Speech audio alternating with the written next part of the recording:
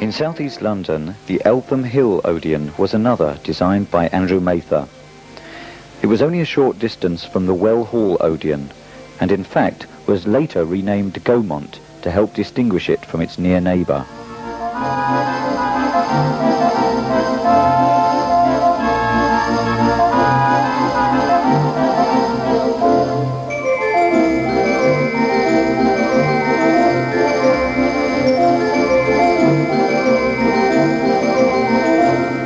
Was on stadium lines with the rear raised section built over the entrance hall.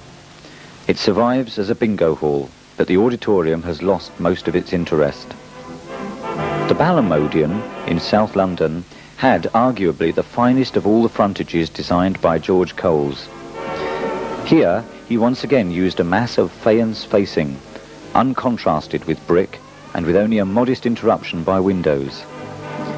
The symmetrical design with its rounded corners and thin tower was wonderfully assured and inviting in its location at the top of Balham Hill.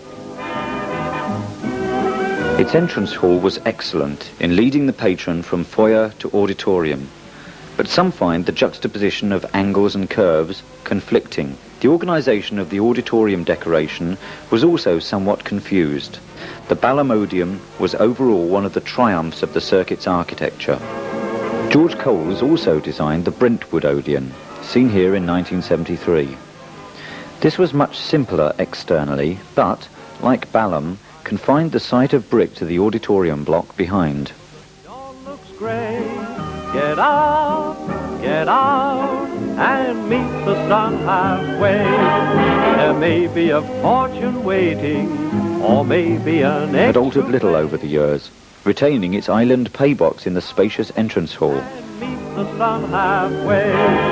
Get into the tub, and as you begin to rub and scrub, give out with your version of the road to Mandalay. Don't ever expect the bright side served up to you on a tray. Get out, get out, and meet the sun halfway.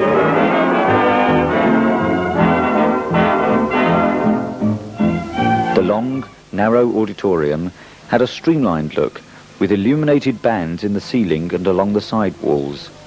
The forward thrust of these features was cleverly terminated in a graceful curve above the proscenium arch and in a right angle bend on the side walls to end up on the Odeon clock.